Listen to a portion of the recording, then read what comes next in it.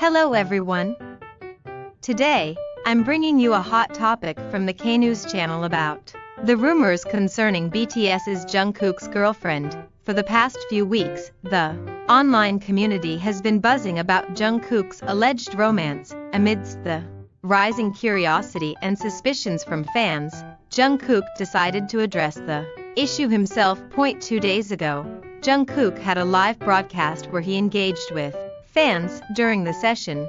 He was frequently asked about his relationship status.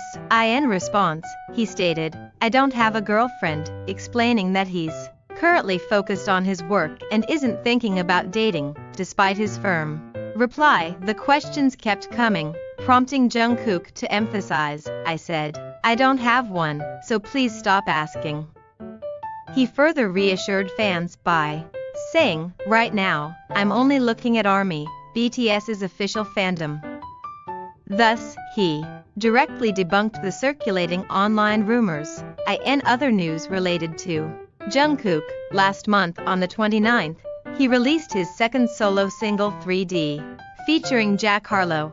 The track showcases a mid-2000s hip-hop and dance vibe with an old-school twist. That wraps up today's hot issue. If you enjoyed this video, please give it a thumbs up, and don't forget to subscribe and turn on notifications for more updates. Thank you, and see you next time.